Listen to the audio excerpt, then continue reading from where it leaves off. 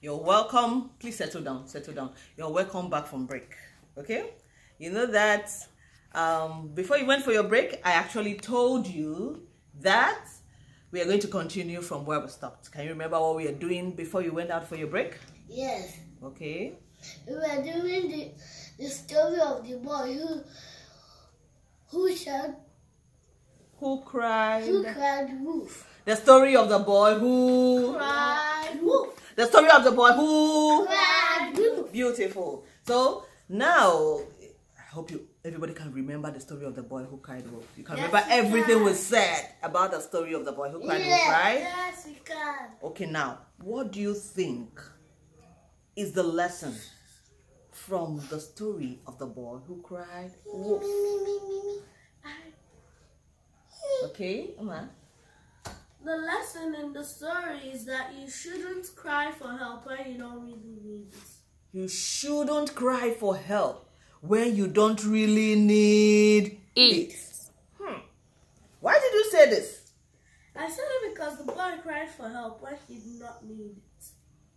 The boy cried for help when he did not need it. Good. But he also did cry for help when he needed it, didn't he? Yes, he did, but then no one came because he had tricked people previously. No one came because he has tricked people previously. Fantastic. Great. Um, have you, please think. Now I want to ask you a personal question.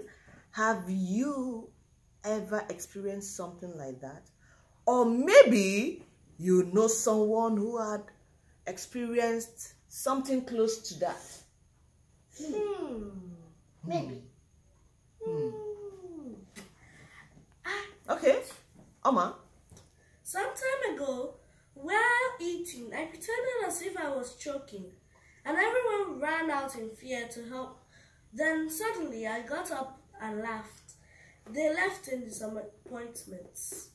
Some days later, when I began to choke for real, everyone felt it was only a trick until I fainted and almost.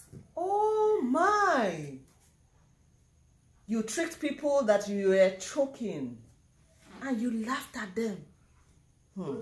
Then now, when you were actually supposed to choke, or when you were choking for real, nobody showed up. I'm sure you would have learnt your lesson, right? Yes, it's not very, it's not good.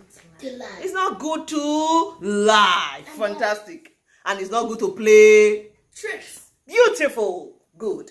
Thank you. I'm not good to play pranks on people. It's not good to play pranks on people at all. Thank you very much. I'm sure you would have learnt this. And when you get back to your environment, make sure you stop playing tricks. Thank you.